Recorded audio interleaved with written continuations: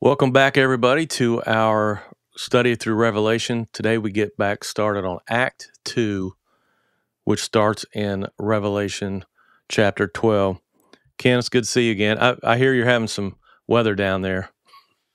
Yeah, Hurricane Debby is making a, an appearance here, so we're trying to let Debby know she's not welcome. Well, hopefully we can make Yeah, it through this recording without losing any power. that's the that's the hope right now. Yeah. Well, we are starting in Act Two today, as you said, and let me just kind of go over what that means. We've we've gone over eleven chapters so far. In Act One, we're going to call that uh, chapters one through eleven. The focus is on Jesus, the bridegroom, and the focus is on. Let, let me kind of go through what chapters one through eleven real quickly. We learn um, the encouragement and the warnings to the seven churches. We see that Jesus is high and lifted up. He's he's on the throne. He's worthy to continue um, the, the the the the progress that we need for the the unveiling of the prophecy of the redemption of mankind. In other words, he's the one that's worthy to continue the prophecies of the Old Testament. The scroll is being opened. The title deed to the universe. He's he op- he opens and he owns this thing. And we see him in chapter 11. The the kingdoms of our Lord, the kingdoms of the world are becoming the kingdoms of our Lord. The story really, Jimmy, is complete in chapter 11. And we see Jesus as the King of kings, the Lord of lords, and all of the kingdoms are becoming his. So, really, we could end the story there, and it's a complete story.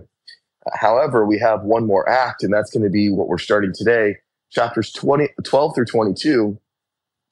If, if the first act was on the on the bridegroom, then the second act is the focus on the bride. In other words, because Jesus did this, what does that mean for us? And this is going to retell the same story, but from a different perspective. So we're in some ways going to start the story over again, but this time it'll be with the emphasis emphasis of what does this mean for us? So if you can kind of get that in your head, then it will be much easier as we go through and start act, act two.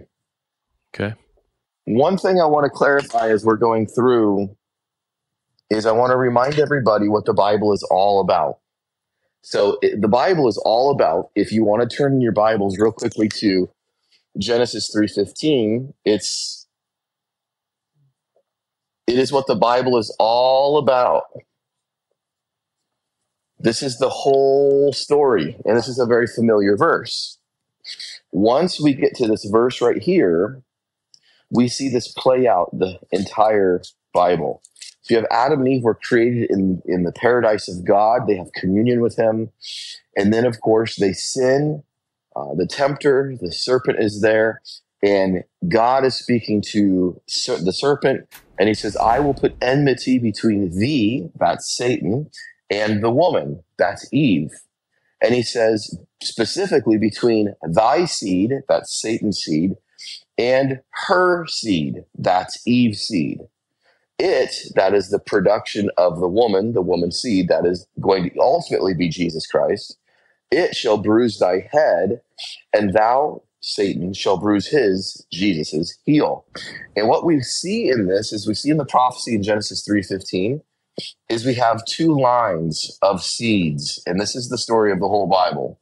So we have God's seed line that is going to come through the form of Eve and her line, and we see Satan's seed line, which will come in the form of all ungodly on the earth.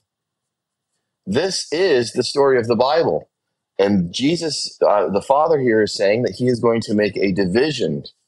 The Bible, the word we read in the King James here is enmity.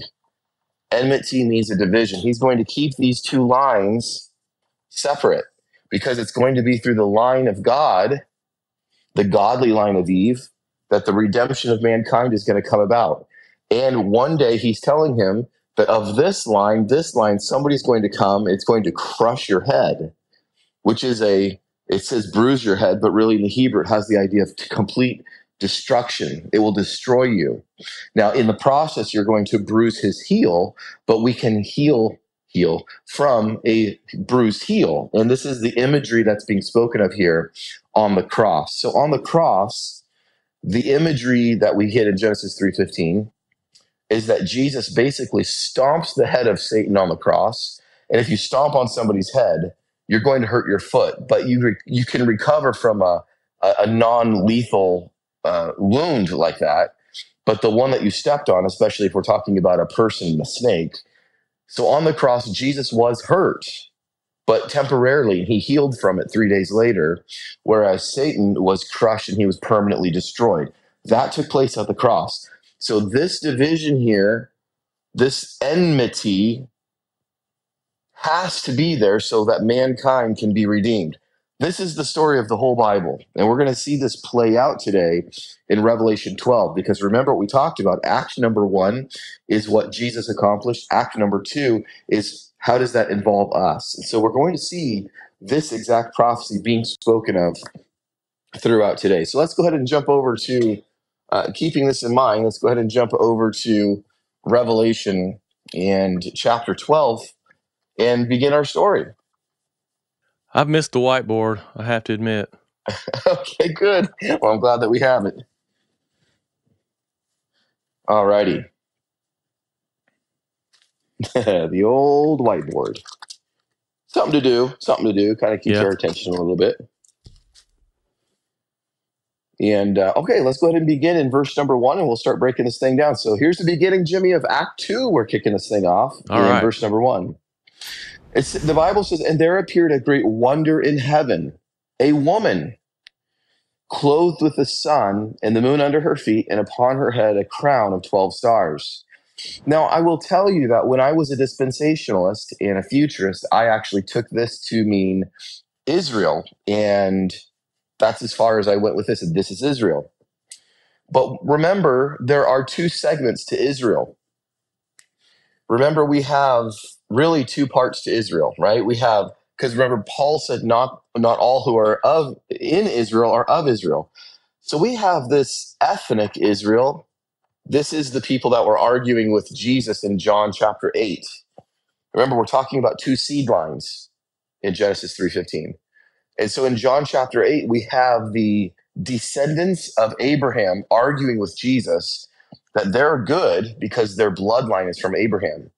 And Jesus makes a distinction here. If you remember in John 8, he says something along the lines of, You may be of the line of Abraham, but you're not children of Abraham. And they're kind of confused, saying, Well, if we're of the line of Abraham, of course we're of we're the children of Abraham. Jesus' point was they're not in the spiritual covenant. They're not their their spiritual status is not what Abraham's spiritual status was. They're they're in Israel, but they're not of Israel. So there's a subset. Hmm And then you remember what he said in John uh, eight um, eight forty four. He says, "Ye are of your father." Do you remember Yeah. the devil? Mm. The devil. So interestingly, in Genesis three fifteen, neither one of those people have biological seed. Neither one do. But the definition is found throughout the Bible that those that are not in covenant are considered the seed of the serpent. Year of your father, the devil. That's whose spiritual family you're in. Now, Eve doesn't carry seed either, but we find through this, we all of a sudden see the woman. So I'm going to go back and look at Genesis 3:15 again because this is bringing the whole story full circle. He says, "And I will put enmity between thee and the the woman." So here's the story. We've been waiting all this time to see the godly line of the woman, something produced from the woman that will come and crush the serpent's head. That's what we've been looking for. Now, we've seen a lot of strange things happen between that prophecy given and where we get to in Revelation 12, such as we know we see Pharaoh. He's intimidated by all the babies and he starts killing everybody two and under to make sure he he murders. See, Satan thought Moses was him, but Moses is put into an ark of bulrushes and and put down the river and spared, and he didn't get to him. He didn't know which one was him. And then we get it. We, we see a lot of these strange things happening. We get all of a sudden to the, the birth of Christ, same thing. We see Herod get intimidated by a baby who they all said, This is the one, this is the one that's the king of the Jews. Can you imagine the president of the United States hearing that a baby is born who's the new president and he freaks out and he starts killing all the babies to make sure that that one doesn't take his spot in the office. I mean, it's just it's just a bizarre thing, but we understand there's a bigger narrative at play. There's a scarlet thread, if we will, all the way from Genesis 3:15.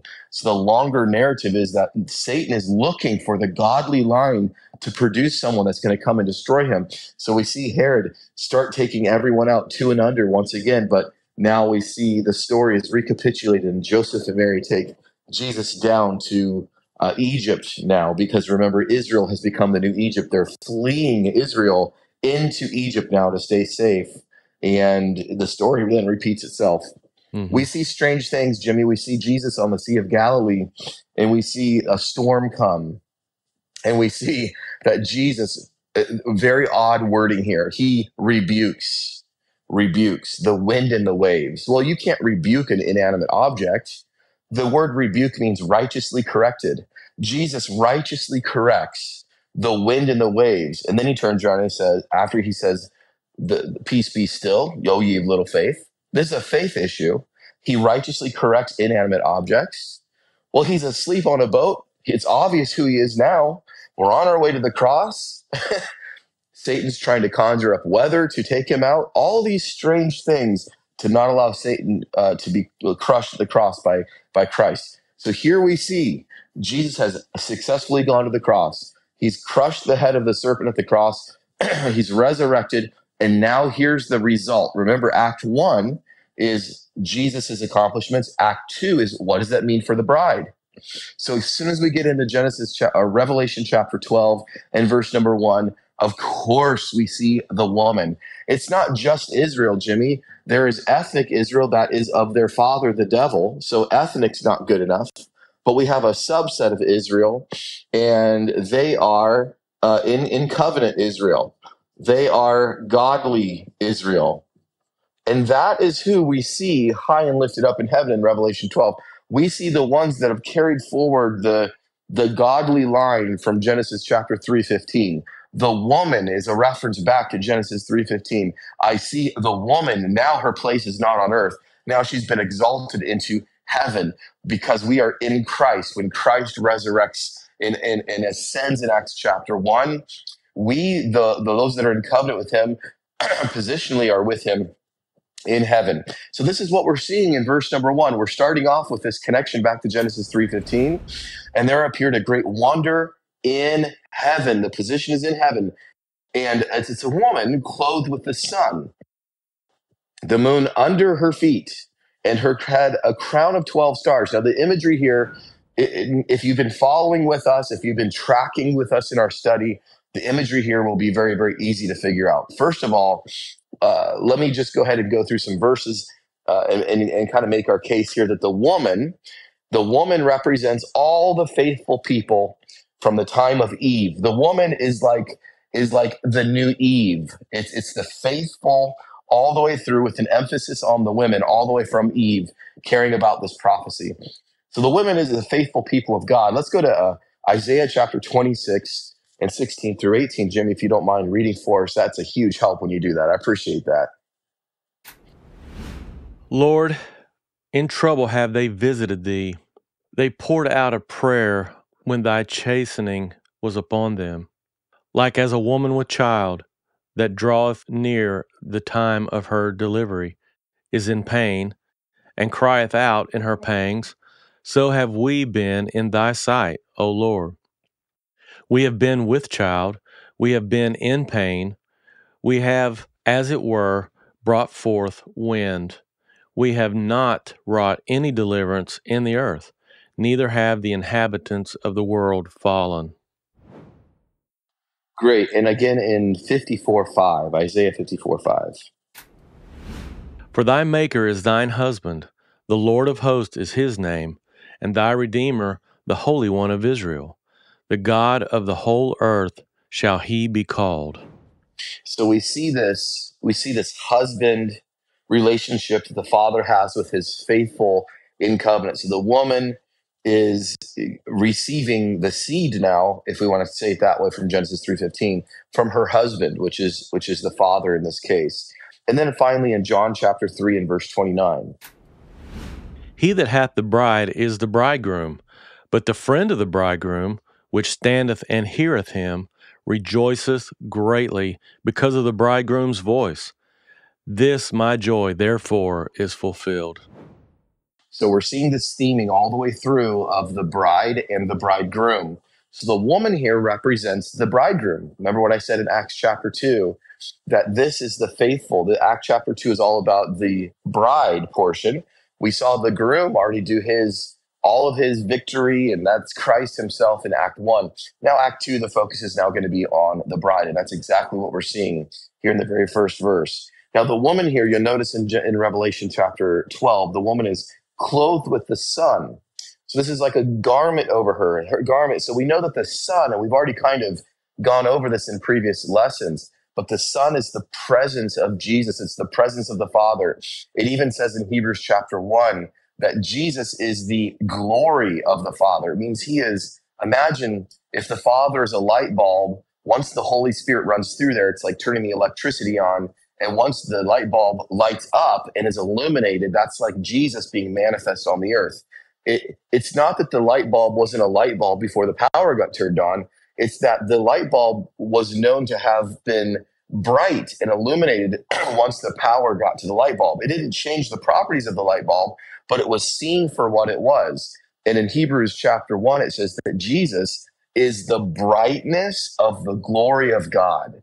So that means that God's glory was always intact, but it was turned on so we could see it once Jesus was born in Bethlehem. And so this is the the woman now is identified with her husband. She's clothed with the sun. And so, as we see all throughout the Mount of Transfiguration, that Jesus is like the sun. John chapter 1, he's the light of the world, he's the light of men. He, he says he's the light of the world, and so forth. So the woman is clothed with the sun, and of course she would be. Uh, these are some of the words that Jesus said. If you would, Jimmy, Matthew chapter 5 and verse 14. Ye are the light of the world. A city that is set on a hill cannot be hid. And again in Isaiah 60 and verses 1 and 2. Arise, shine, for thy light is come, and the glory of the Lord is risen upon thee. For behold, the darkness shall cover the earth, and gross darkness the people. But the Lord shall arise upon thee, and his glory shall be seen upon thee. So we have all of these prophecies saying that the light of the Lord will ultimately come upon Israel. And all, these prophecies are ultimately fulfilled in Christ. So it's no wonder that the bride of Christ would be clothed with the sun, clothed with uh, his glory. So that, that imagery, hopefully that makes sense to those that are watching. We could carry that on much longer, but I think that's sufficient for this. And then we see this very interesting phrase also that the moon is under her feet. Now we just have to simply do a little quick study here on moon, and I'm just going to narrow it down to one verse. Now, the moon was given. The moon was given for understanding times and, and, and indications of seasons. And, uh, you know, Israel ran all of their feast days through the new moon. You know, when you see this new moon, I want you to do this and this and this and this. So let's go ahead and look at that in Psalm 104 and verse 19. He appointed the moon for seasons the sun knoweth his going down. So, a very simple verse there that gets right to the chase. And we could see a lot of verses that have to do with this topic, but we'll just keep it really simple. He's appointed the moon for seasons. Remember, it's a time indicator connected to the ceremonial feasts in Israel. That's why the moon was there to govern those things. Okay, so it, what is the phrase? It, it, not to interrupt you too much sure, here, but it just when I think about all these kind of things, and and sometimes Missy and I, because like I, have said many times, we read through Psalms, and every morning we read a, a chapter, yeah. and there's so many times there that whoever has written that, that that particular psalm talks about these kind of things, and uh, it's just it just makes me think about God just imagined and mm. then it was you know he just spoke it and then it was like the moon. Okay, you're going to be in charge of all the seasons, and the sun, you're going to do this, and yeah. the stars, you're going to be on this. You're, going to be. The whole thing just amazes me. And and not only everything you're saying, but to add one more facet to that, that those were all foreshadowings and symbols and pointing to and signs of the redemption of mankind. So we, we learn about in the Bible, yes, everything you're saying, and it's incredible. Plus, those were all done very specifically to point you towards the most crucial event in the world, which is Christ's birth, death, and resurrection, because it says in Revelation that he was slain, excuse me, from the foundations of the world. So hmm. it's just It's incredible that, yes, everything you're saying is all planned. So we see the moon for times and for seasons of things, indications in the in the Israel's history. When we see under her feet, maybe we could read that. Under her feet is Ephesians chapter one and verses 22 and 23. He hath put all things under his feet and gave him to be the head over all things to the church, which is his body, the fullness of him that filleth all in all. So one of the definitions of under his feet, and of course this is also connected to uh, Psalm 110 as we've gone over so much. But under under his feet, under her feet, under feet has the idea of authority. If if somebody or something is under your feet, it means that you have conquered it, that you're uh, you have authority over it. So let's put all this together here. Uh, well, let's do one more theming here, and then we'll talk through and put it all together. We've already gone over stars a bunch, so I'm not going to belabor this point, but just as a reminder, what the stars are in Genesis chapter 39, so- sorry, Genesis 37 and verse 9. And he dreamed yet another dream, and told it to his brethren, and said, Behold, I have dreamed a dream more. And behold, the sun and the moon and the eleven stars made obeisance to me. I, I'm sure Joseph Joseph's brothers were like, Yay! There's another there's another dream. they were so happy to hear it. They loved him so much. They were so so proud of him. No, they were furious with him, and they were. He was saying, "Isn't it great? Guess what I found out? You guys are going to worship me, and and mom and dad are going to worship me also." Now, what Joseph was seeing in his dream was that he was going to be the one, because this is all connected to Genesis three fifteen. You know, all of the stories that happen to be connected to Genesis three fifteen. That's the Bible.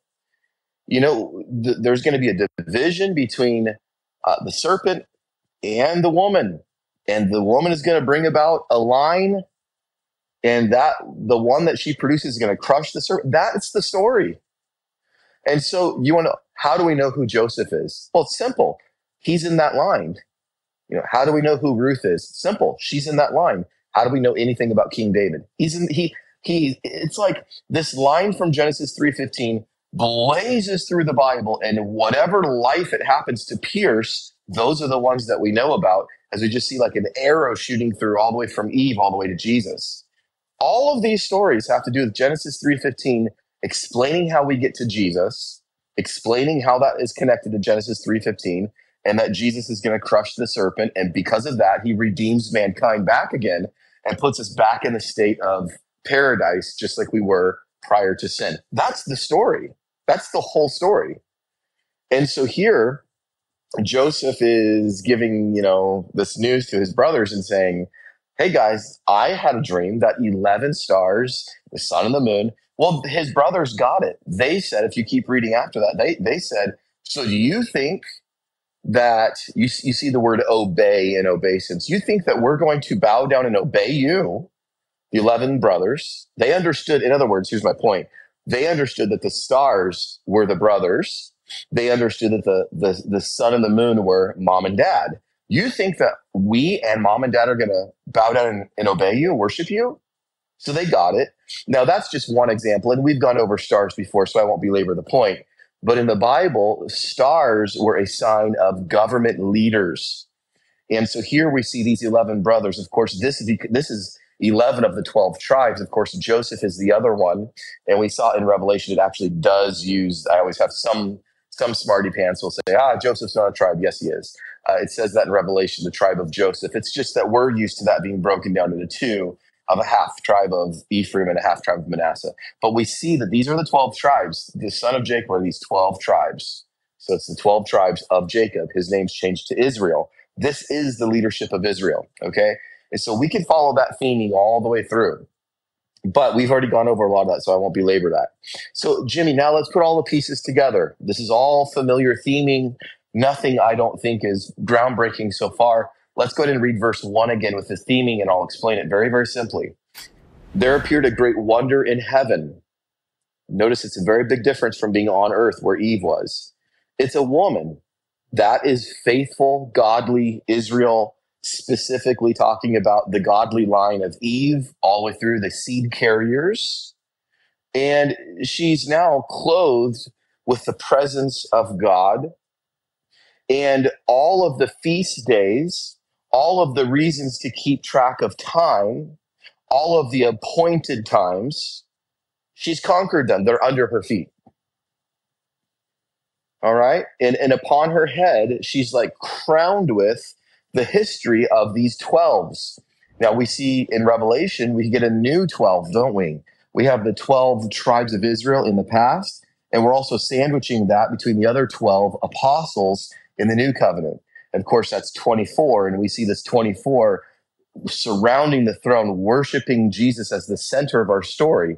Jesus is the Lamb, He's the center of the story of the two twelves. He's the center of the old covenant and of the new covenant, 12 and 12. And now we see she has these 12 crowns uh, of stars on top of her head. Now let's go on, verse number two. And she, being with child, cried travailing in birth and pain to be delivered. So we're saying that the woman is every faithful woman along the biblical narrative, along the story of Genesis 3:15 to bring about the Messiah. And let's look at just a couple of these things. Luke chapter 1, if we could, in verses 51 through 55. He hath shewed strength with his arm. He hath scattered the proud in the imagination of their hearts.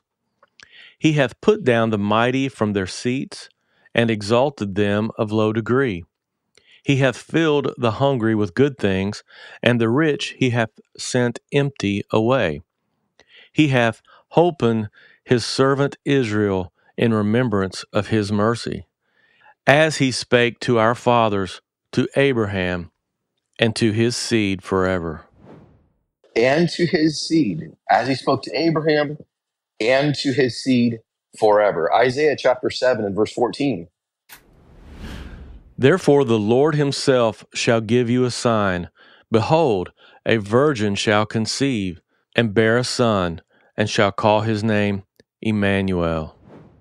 So here we have in Isaiah chapter 7, one of the one of the stories I just it's so hard for me to read. You have King Ahaz, and King Ahaz was confused in his spiritual walk, and the Lord was going to be gracious to him and said, I will increase your faith. Because, you know, today we increase our faith by getting our nose in the book, and hearing comes by the word of God, and faith comes by hearing, and hearing by the word of God.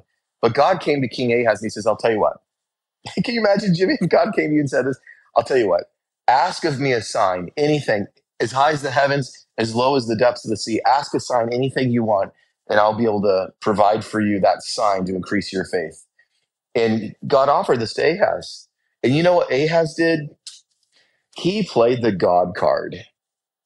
Ahaz was so spiritual, he disobeyed God. He said, No, no, no, no, I will not tempt the Lord my God. I'm not supposed to tempt him, so I won't take you up on your offer. It's unreal.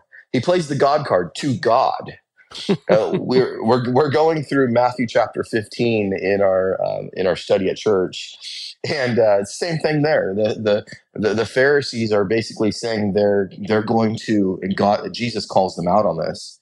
He flips the script. They're saying, "How come you guys don't do ceremonial hand washing? How come your disciples don't do that? You you are just going to ignore the traditions of men." This is at the beginning of Matthew 15, and Jesus says to them, "So." You love the traditions of men, how you love the traditions of the elders. Well, that's interesting. How come you disobey the commandments of God to obey the traditions of the elders? And he explains to them how. He says, It's God's command is for you to honor your father and your mother, to obey them and honor them. And you go to your parents and say, I would honor you, but I can't take care of you financially because I'm giving everything to God. And if I if I didn't have to give everything to God, maybe I could take care of you, but I can't take care of you because I'm just giving all that I have to God. And Jesus says, You can't even obey God in taking care of your parents because you're playing that God card. I can't. I'm just too spiritual. I'm giving everything to God. There's not enough left in my life to take care of you too. And so Jesus calls people out on this. It's like, you know, I'd rather you obey, you know, kind of thing. So so that's what we're seeing in Isaiah chapter 7 verse 14. And now what's the sign? The sign is that this virgin will conceive and you'll call his name Emmanuel. So we see let's also go to Micah chapter 4 and verse number 10. Be in pain and labor to bring forth, O daughter of Zion, like a woman in travail. For now shalt thou go forth out of the city and thou shalt dwell in the field, and thou shalt go even to Babylon. There shalt thou be delivered. There the Lord shall redeem thee from the hand of thine enemies. So we're seeing a theming here. We're seeing the theming of faithful woman, bride, and now the bride is expectant. And we see that there's there's birth a birth happening and there is pain happening. When Christ comes on the scene and the woman delivers Christ, then Christ then delivers his kingdom. And so we see these birth pains that Jesus was talking about in Matthew chapter 24, Mark 13, Luke 21. These birth pains are the beginning, not the end. Remember, we talked about this in our Matthew 24 study. This is not a death rattle, it's a birth pain. Something is happening, something's being born. It's the birth of something small that will grow into something big. It's not the end, it's the beginning. And so, what is it, what is it the beginning of? Well, it's the beginning of the body of Christ on earth. It's the beginning of Christ's church on earth. And so, this is what we're seeing here in Revelation chapter 12. Remember, we, we're recapitulating the story. We're starting over again with the emphasis on the bride. So, here we see the woman is now in heaven. She's no longer in the garden she's in heaven. It's sort of a new Eve, a, a, symbolic new Eve that's giving birth to a new Adam. See, Jesus is our is the last Adam. So now we see the, the imagery of this this mother of all living sort of woman Eve figure and giving birth to a new concept of Adam, the last Adam. So here we see there's a pain to be delivered, travailing to be delivered, and finally delivered in verse number two. Okay, let's go to verse three. There appeared another wonder in heaven and behold, a great red dragon having seven heads and ten horns and seven crowns upon his head. Now, uh, there are a total, if we're counting this, and I'll kind of remind us of this as we go through, but there are a total of three signs in heaven in this imagery and four on the earth uh, in the second act. So, um, should probably come as no surprise. There are a total of seven signs in act number two. Uh, but here we have three of them that are going to be in heaven. Now, the dragon, there's three characteristics, just like the woman. We got three characteristics with the woman. Here's char- the characteristics: seven heads. What do we mean by seven heads? Well, seven heads. Uh, you kill somebody with a with a headshot. So uh, we could go into all of the, this super detailed imagery, but let's just keep it simple for our study. It just simply means this: it's resilient. This sort of uh, this this dragon that we we see is not an easy kill. Uh, in other words, if you have a monster coming towards you and you get a nice headshot, uh, then it's game over. But there's seven heads here. Which one do you aim for? Uh, if you get one, there's six more. Can the other six patch up the other seven? There's confusion of how much power and how difficult it is. It's not impossible to take out this this dragon, but it's very difficult with as many heads as it has. Of course, of course, the seven in the Bible is a number of, of, of completion or perfection. So here we see a sort of satanic deception of, of power or completion here. So we also see, uh, in addition to these seven heads, we also see uh, ten horns. Now, horns in the Bible are a picture of power and of strength, and there's ten of those on this this beast here. And then also we have the last characteristic is it has seven diadems. Now there are two Greek words for crown. One of them has to do with just being the crown, and the other one has to do with taking a crown by force. This is that one. It's almost a stolen crown. And that's the word diadem here in the Greek, and he has seven of these stolen diadems. Uh, let's go ahead and look at just a couple of passages to understand this. Daniel chapter 7 and verses 3 through 7. And four great beasts came up from the sea, diverse one from another. The first was like a lion, and had eagle's wings. I beheld till the wings thereof were plucked, and it was lifted up from the earth, and made stand upon the feet as a man, and a man's heart was given to it.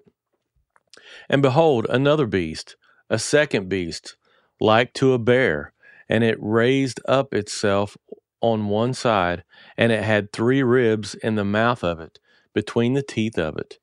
And they said thus unto it, Arise, devour much flesh. After this I beheld, and lo, another, like a leopard, which had upon the back of it four wings of a fowl. The beast had also four heads, and dominion was given to it. After this I saw in the night visions, and behold, a fourth beast, dreadful and terrible, and strong exceedingly, and it had great iron teeth.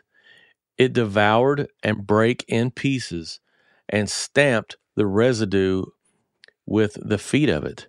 And it was diverse from all the beasts that were before it, and it had ten horns. So we could take the time to go do a verse by verse through through Daniel because we could break all this down. But for the sake of our study today, just understand that this is um, in connection with the the other visions that Daniel has, and these are successive kingdoms. And so when you get to Rome, which is the fourth beast, the fourth image here, the fourth beast is Rome, and Rome is like a culmination of the other three beasts. You see characteristics of the other three beasts when we get to Rome, and Rome is the most fierce.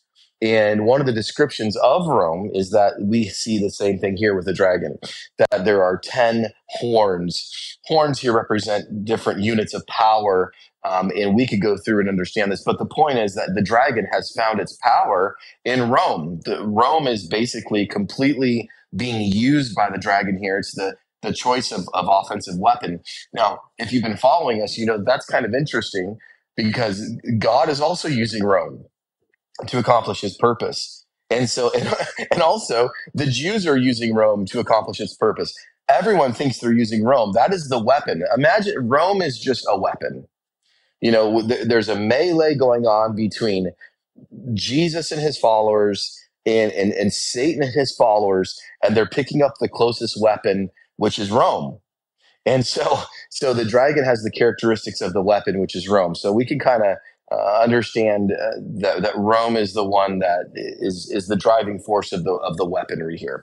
When we go into Daniel a little bit more, the successive kingdoms will make a little bit more sense. But for now, just understand that the characteristics of Rome are the same offensive weapon characteristics of the the, the dragon here, because Satan's using Rome as the Jews out of covenant, the apostate Jews are also using Rome to get at to get at Jesus. Now, once Jesus ascends, he uses Rome and tells his followers to hightail it, and that gets into our Matthew 24 study. Mm.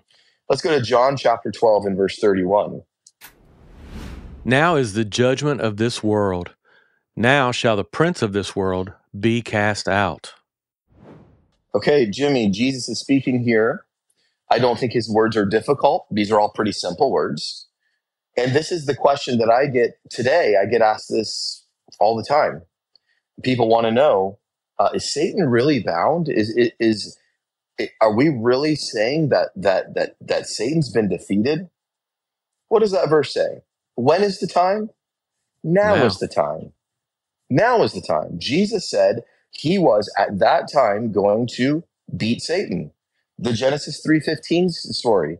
Jesus is announcing, I'm the one, I'm going to do this. Let's go to Romans chapter 16 and verse 20.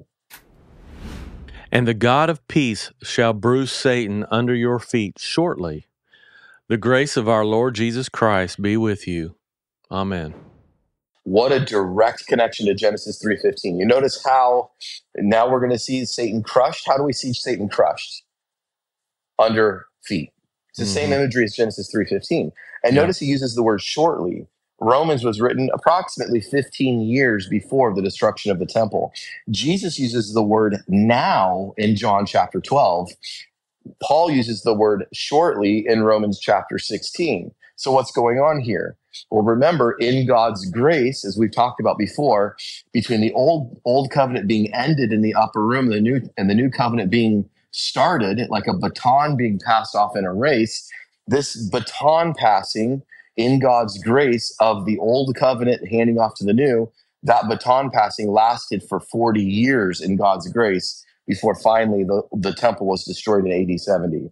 And so Paul says it's about to happen. Jesus says it's happening now. They're both right. When Jesus died on the cross, Satan was crushed. The Genesis 3:15 prophecy was accomplished at the cross, where the seed of the woman crushed the head of the serpent. That had been fulfilled in Genesis 3:15. And then the entire book of Acts is the record of the growth of the gospel, warning people that the kingdom is here. It- It's, it's a different message than what Jesus and, and the John the Baptist were saying. They were saying the kingdom of heaven is at hand, within arm's reach. Eh, that's not the message in Acts. No one's saying the kingdom of heaven is at hand. They're saying the kingdom of heaven is here. Mm.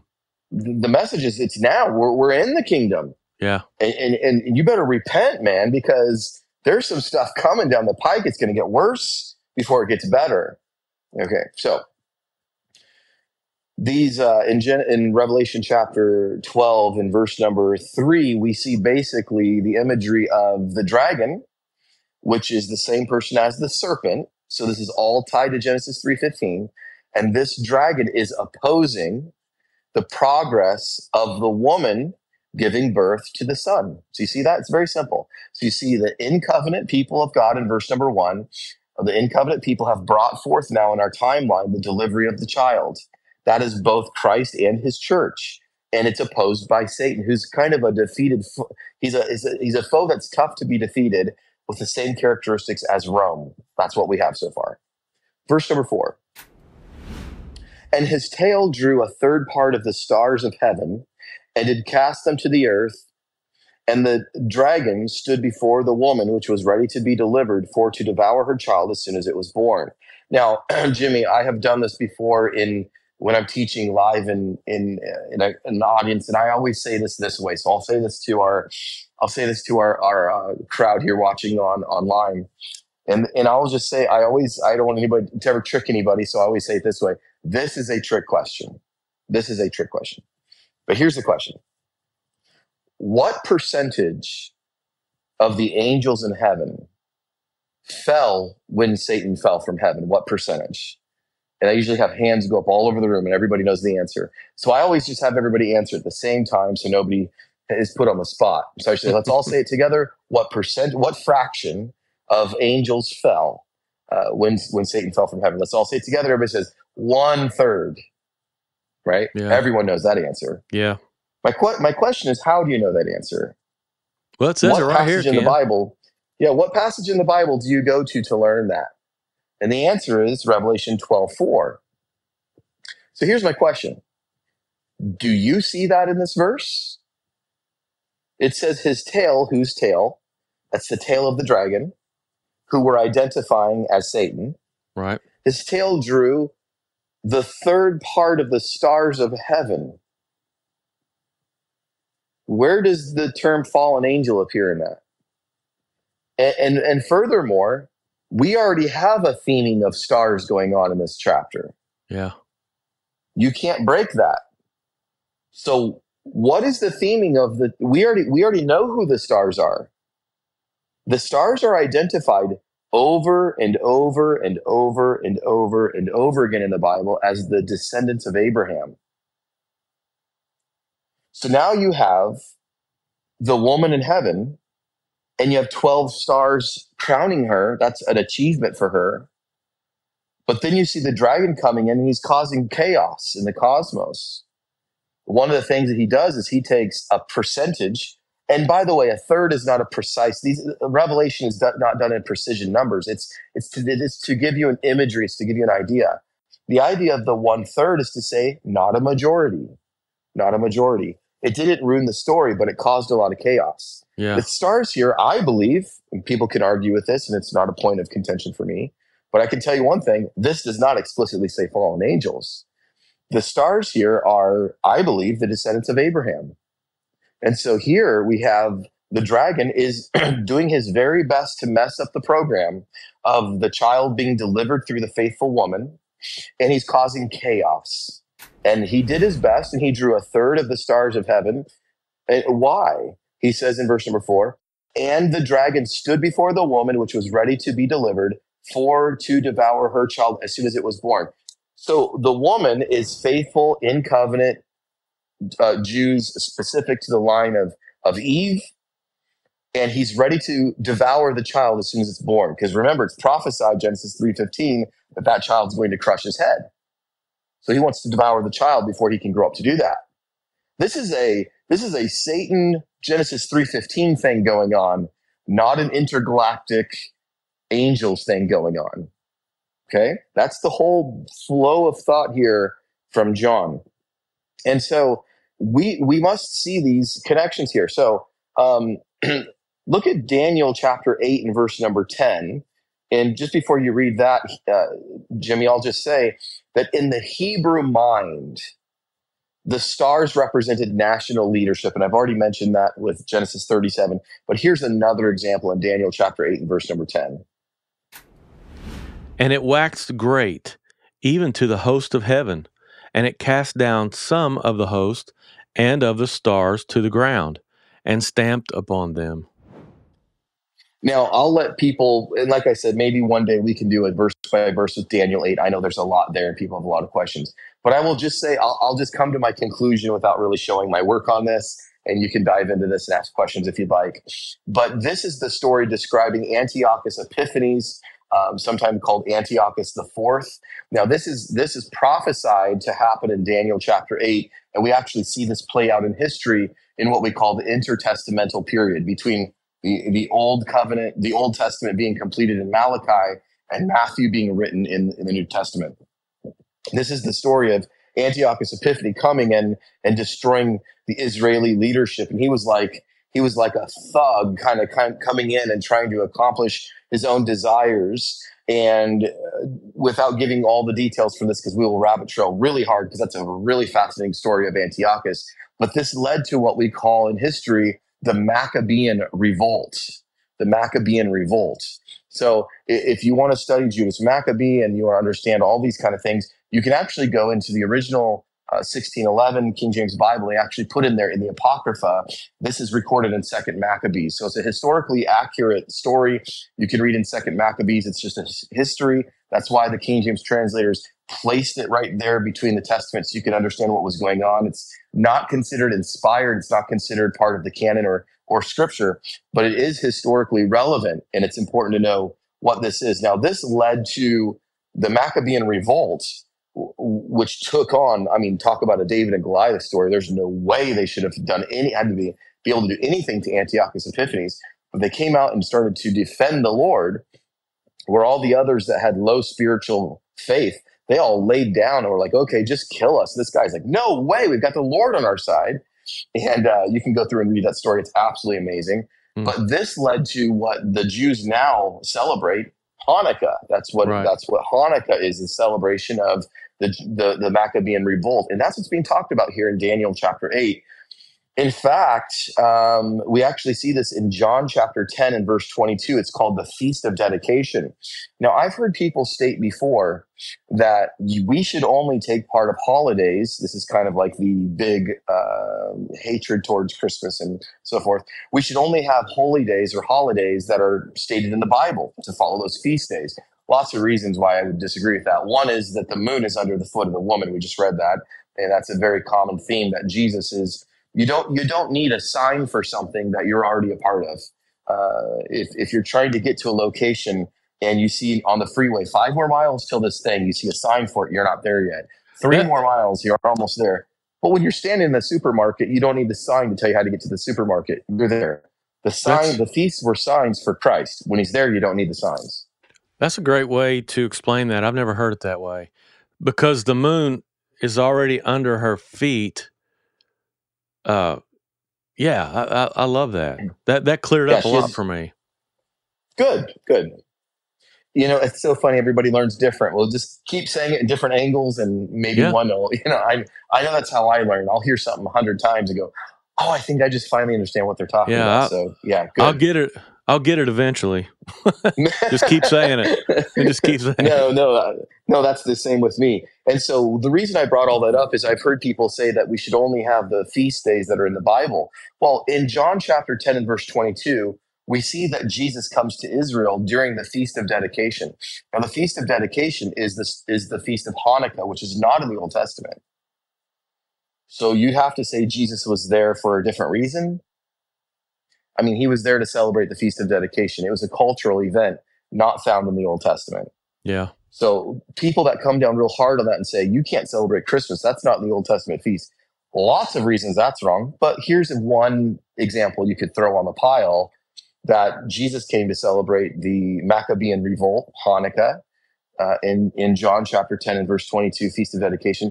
That's not found in the Old Testament because it happened in the intertestamental period. So, anyways, I know it sounds like we're rabbit trailing. We're really not because we're going from Gen- Daniel chapter 8, verse 10. And, and that is what we're talking about here in Revelation chapter 12, in verse number 4, with the stars idea. So, kind of putting all those together. Well, who uh, were you know, who there were was who were some of the hosts in that in Daniel? Daniel 8. Yeah, Let me go ahead, let me go and turn there. because it said he it cast down some of the host and of the stars. So is that is that two different things, or is that just saying the same thing twice? Yeah, so there's there's so when when Antiochus Epiphanes comes in, is that your question about Antiochus?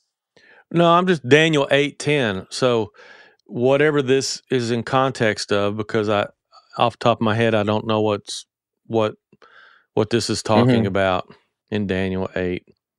Is this prophesying the Antiochus period? Yes. Is it okay? Yeah, and, and, it the it there is Antiochus. Okay, you said that. So you it, said it- that. yeah, and it cast down some of the hosts of the stars to the ground and, and stamped on them. If you go read what Antiochus did in Second Maccabees, it'll be crystal clear. He basically what Antiochus did essentially is he he desecrated the temple. So he put pig's blood everywhere and made it. He just mo- was made a mockery of the temple. This is why. so he this is why. That's why some people give him the credit for uh, what we read in Revelation, right? The the Yes. uh, abomination of desolation. the abomination of desolation yes and it certainly was an abominable act but the reason why we don't place the abomination of desolation with antiochus and I, I- like i said don't want to rabbit trail too far but was because it was not it was it was not and i made this point in matthew 24 it was not israel that did it it was somebody out of covenant and the point is somebody out of covenant which antiochus epiphanes is not in covenant with god somebody out of covenant cannot Mm. do an abominable ceremonial act Yeah. See, that makes a lot of sense. yes that's the point It- you you have to be in covenant with god to be an abomination to god in a ceremonial sense he broke into the temple he took pig's blood and splattered it everywhere all it would take to correct that it's not it's not like god is uh, n- not understanding. We're not dealing with a mystical force and he says oh there's pig's, pig's blood? I can't do anything with that. No go get go get a mop go you know go go get some 409 go get some clorox. Yeah, we're they had take care a of this pig's pig. It wasn't their fault in other words. Yeah. He had a cleaning procedure laid out in the uh, in the old right. covenant. that's right. Mm-hmm. Yep. So this wasn't an abominable act because it wasn't israel that did it the abominable abominable act in Matthew 24 was that it was the Jews themselves that took over the temple. And then God's presence left the temple. So the abomination of desolation. Behold, I give to you your house desolate. That's Mm. that's the act. And Yeah, I that was remember- made manifest. Yeah. I remember when you taught that in Matthew 24. That that's another one of those. That's the first time I've heard it explained that way, and that makes that's the first time it's made sense. Yeah, and the Antiochus Epiphanes Act was um, a foreshadowing of that, but he wasn't in covenant, so he couldn't accomplish to Mm-hmm. Right. that extent. Right. So yeah, going back to that verse real quick, it, the it is Antiochus, even the host of heavens, and it cast down. And notice it was some, because in Second Maccabees you're going to see Judas Maccabean, uh, the Maccabean revolt come up. Uh, Hammerhead, you'll read about historically if you go, you know, look up, you know, some historical documents. He had the nickname Hammerhead. He was a great um, tough guy, you know, he was a Right, tough right. guy. right. So against all odds, came and fought back. So, all right, let's go ahead and head back to Revelation 12. Although I enjoy Daniel, but we will never get through Revelation if we go there. and the point, the point is um, that there are two kinds of people waiting for the child. Okay, that's the whole point. You have those of the line of, of the seed of Satan in Genesis 3:15, ready to kill him as soon as he's there. But there's also the other lines. We see these two lines all the way through. And let's go ahead and read, Jim, if we could, Luke chapter 23 and verse 51. The same had not consented to the counsel and deed of them. He was of Arimathea, a city of the Jews, who also himself waited for the kingdom of God. So here's an example. This is Joseph of Arimathea. This is the one that helped Jesus with the cross, if you remember that story. And notice it says here, he was waiting for the kingdom of God. He was in covenant. He was in covenant with God before Jesus was born. And when he saw Jesus, he said, There he is. And there Yeah, was a he, transfer. yeah, he's the one who had the uh, the uh, the new sepulcher, right? That Jesus was laid Yep. in. Yeah, Yeah. And so, um, yeah, Joseph of Arimathea is, is the um, the one that, yeah, Jesus was put into his, his sepulcher. I think I was starting to get him confused with Simon the Cyrene. I apologize for that. My brain got that. But yeah, he was waiting for the kingdom, and um, he was the one that um, that we see Jesus is. Uh, we actually see that in, Je- in Isaiah 53 about him being buried um, with the wealthy. And then Luke chapter 2 and verse 25. And behold, there was a man in Jerusalem whose name was Simeon, and the same man was just and devout, waiting for the consolation of Israel, and the Holy Ghost was upon him. Okay, so I'm going to draw a little bit on the board here to help make sense of, of a, I think, often misunderstood concept. So I'm just going to draw a bucket here because I think it's just easier to understand. So what, let's talk about people being in covenant, being in this bucket for the sake of understanding it. Okay, so when people in the when people in the Old Testament are believing, this is let's just let's just put the cross of Christ. Uh, no, I'm going to put a little further than that. So I'm going to draw something just before that. So let's put timeline wise. Let's put the cross of Christ over here. So in the in the Old Testament, Jimmy, if people are believing, remember it says in Romans chapter four, and Abraham believed God, and it was counted on him for righteousness. You're in covenant with God through through faith. Still, he believed God, and it was counted him for righteousness. Now we understand they get into Christ, they get into a covenant with God. Let's just put them all in this bucket, okay? Now we know that it's the blood of Jesus retroactively that cleanses them. We understand that, but that hasn't happened yet. So they place their trust and belief in what God says, not in what Jesus He hasn't come yet. So we'll put it in this bucket. But when Jesus is on the scene, he says, All that the Father has given me, I will in no wise cast out. There's a new bucket. So the Father takes who's in covenant with him and transfers those that are in covenant to Jesus the Son. All that the Father has given me. So there's a transfer of of uh, of covenant location during the ministry of Christ. There's a transfer from those that are already in covenant with God in the Old Testament. So there's this really special generation that is alive during the transfer happening between co- being in covenant with God and then God gives to the Son all these people, and Jesus says, I will in no wise cast out. Are So this is a really interesting idea. are these the people that the Old Testament always refers to as the remnant? Maybe. It would certainly be a part, yeah, the part of the remnant, but it would be those that are alive at the time. Okay. Because if they had if they had already died, they're just awaiting the resurrection. Okay. Gotcha. Um, but these are those that are actually alive. And my point is here, um, Simeon would certainly be one of those people. He was waiting for Joseph of Arimathea, one of those people, waiting for the kingdom to come. They're already in covenant and they see Jesus. And they're like, I can't believe it. I'm alive to see this. Those people are transferred. All that the Father has given me, I will no wise cast out. It's like the Son is now the one. You have to be in covenant with Him. So there's this generation that's alive during the transfer uh, from the Father to the Son. So it's kind of an important um, concept there. So my point is in verse number four, there's two kinds of people. They're both waiting for the Messiah. One is trying to kill him and kill anybody that's associated with him. But then there's other that are in covenant waiting for him. They, they couldn't be more excited to see him. So there's turmoil. Verse number five. And she brought forth a man child who was to rule all nations with a rod of iron. And her child was caught up into God and to his throne. Interesting story here because remember in act number two, we're focusing on the bride. This is not the story of the the of the bridegroom. That was in Act number one, chapters uh, one through eleven. So interestingly, you talk about going and rushing through a story.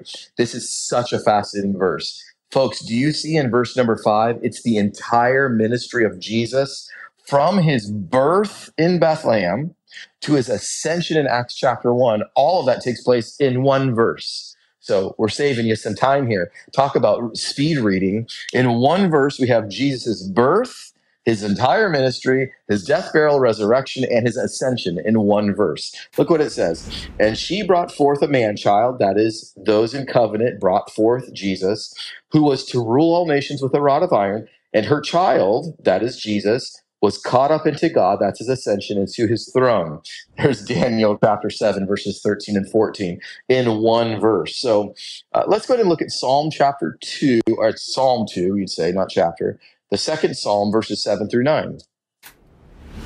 I will declare the decree. The Lord hath said unto me, Thou art my son. This day have I begotten thee. Ask of me, and I shall give thee the heathen for thine inheritance, and the uttermost parts of the earth for thy possession. Thou shalt break them with a rod of iron, thou shalt dash them in pieces like a potter's vessel. So you see in there this rod of iron idea. This is what's this is what's been prophesied the whole time that God will through Christ the, the, the term here heathens for his inheritance we see that again in daniel chapter 7 um, that it's the gentiles who will place their trust in christ. It's the same reason he spoke in parables to hide the kingdom from the, the the the gentiles so they would essentially so they would still kill him. That's paul's argument in first corinthians. If they knew that he was who he said he was or if, he, if they knew who he was they would never have crucified the king of glory is what paul's argument is and so the Gentiles needed Christ to be crucified so they could have a savior. And so he could be the one to inherit them.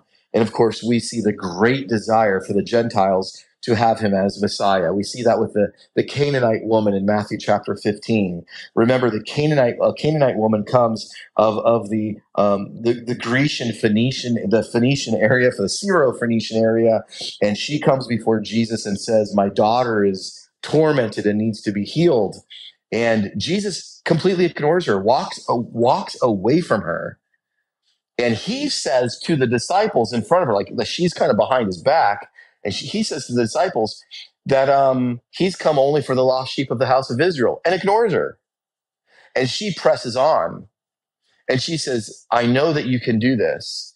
My daughter needs you. I know that you can do this." He then says that you should not you know, uh, uh, are, are, are, okay. He says that the, the, the bread of the master um, should not be given to the dogs. The chil- children's bread should not be given to the dogs. The children is Israel. The bless, in other words, the blessings of God came for the children of Israel, not to the dogs. Now, this is somebody he came to die for.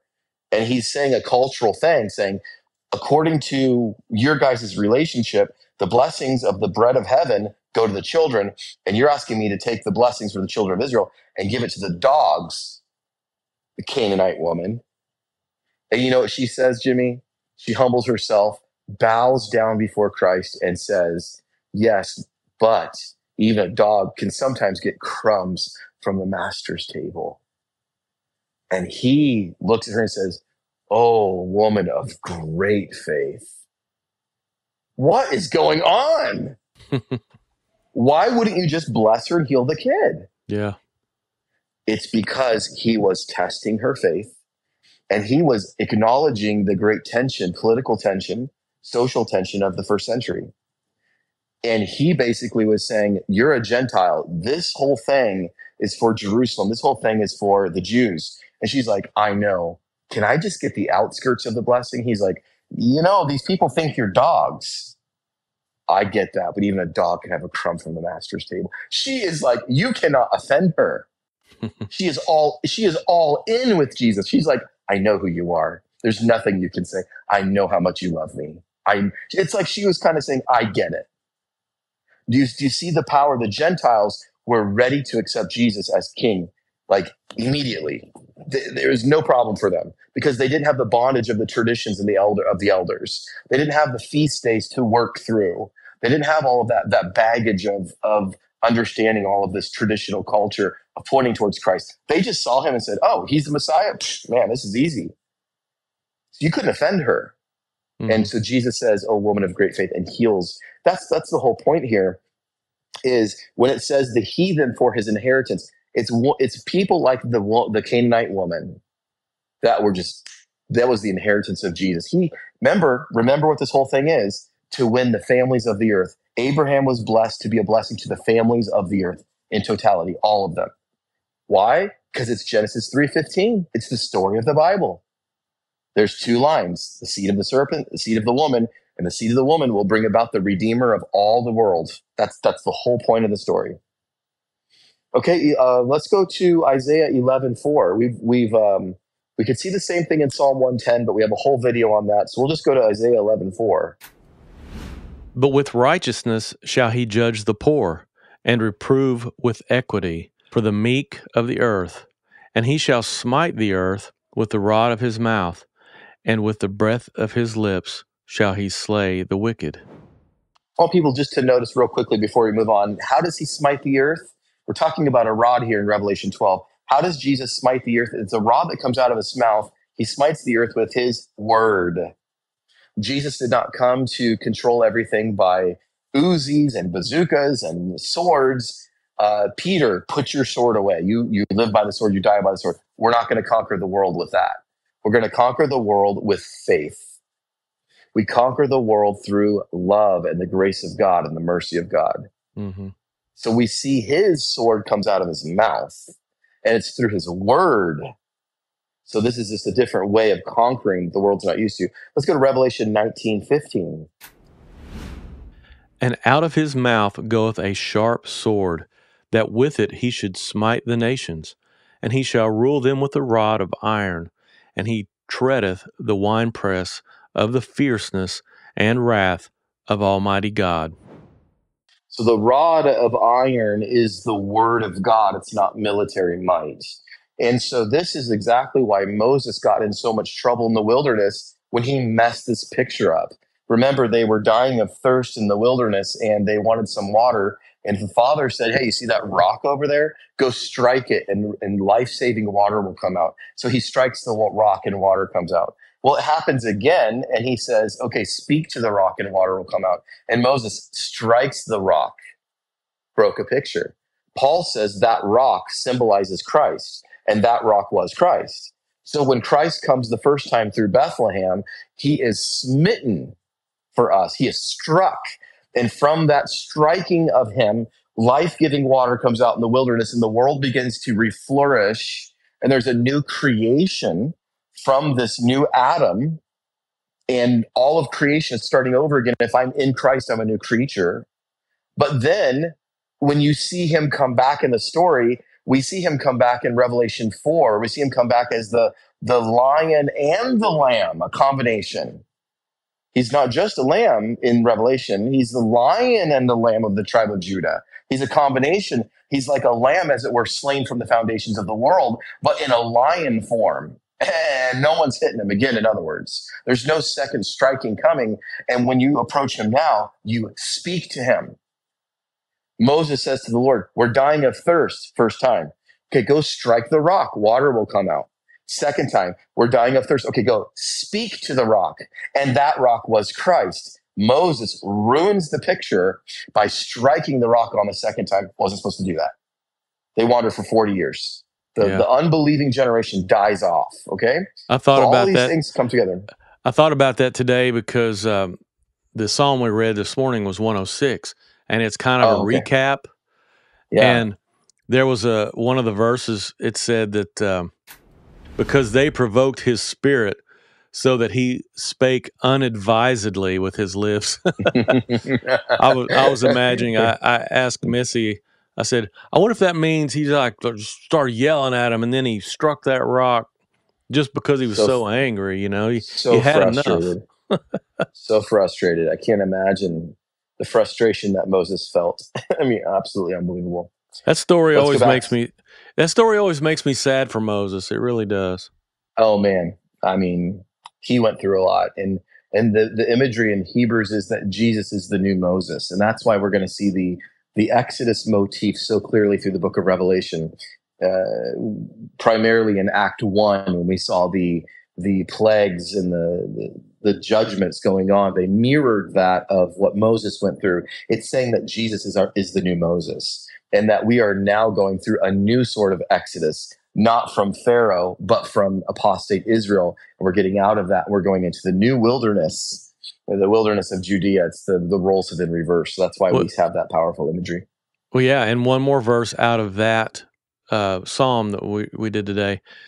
In in verse twenty three, it says, "Therefore he said that he would destroy them, had not Moses, his chosen, stood before him in the breach to turn away his wrath, lest he should destroy them." And that's clearly what Jesus is for us. He he stands in the Yeah. breach and turns away God's wrath from us, and Yep. so grateful. One-. One one for many. What an awesome Yeah. idea of of the substitutionary atonement for sure. Yeah. Let's go ahead and read verse number six. And the woman fled into the wilderness, where she hath a place prepared of God, for they should feed her there a thousand two hundred and threescore days. Um, this is mirroring Matthew 24. So, those of you who have been following us for a while and you went through all of the Matthew 24 study, you can see now. Uh, I'm going to go back to one of the videos we did, Jimmy, that we called the Revelation, the dating game, which I love that name that you, such a creative name you gave it. and, and, you know, when we were going through the proofs of the dating of Revelation, you know, it, it, I'll I'll be honest, it was very hard for me to get into the mindset of proving the date because now if you've been with us this whole time and you're at chapter 12 and you've been going the whole time with us in order you can see now that the dating of revelation can be easily understood by its paralleled content to jesus' ministry Right. i mean it's it's almost like and I, i'm not saying that i don't look down on anybody if they're learning i don't mean that but i mean if people that have been studying this that would disagree with us and they say, "Oh, well, I think it was written in the '90s under the reign of Domitian or something like that." To me, Jimmy, I almost have to have patience and step back and say, if we're talking to a pastor or teacher or something like that, and I'm thinking to myself, "Have you read it? Yeah. Revelation is about the ministry of Christ." And once, you know, to me, dating the book of Revelation is as simple as understanding Matthew 24. If Yeah. you believe Matthew 24 as we stated it, then Revelation follows suit. It's the same content. And so here's another example where I just scratch my head and I'm wondering, do they think it all happens twice? Like, you know, I mean, by what authority can you just say that? This is all the same stuff.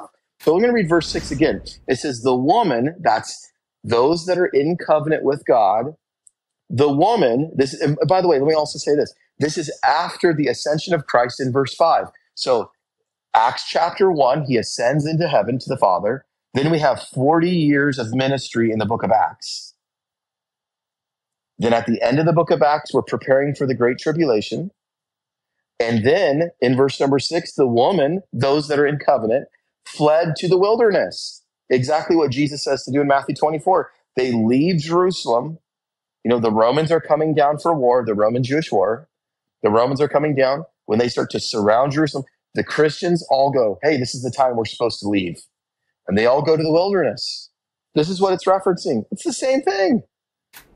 Where she, that's the woman, where she hath a place prepared of God, that they should feed her there. Now look at this, Jimmy, a thousand two hundred and sixty or three score days. Now, if you divide that number, 1260, by 360, remember, don't go 365 because the Hebrew days were 360, then it's three and a half. So this is talking about three and a half years right here. Yeah.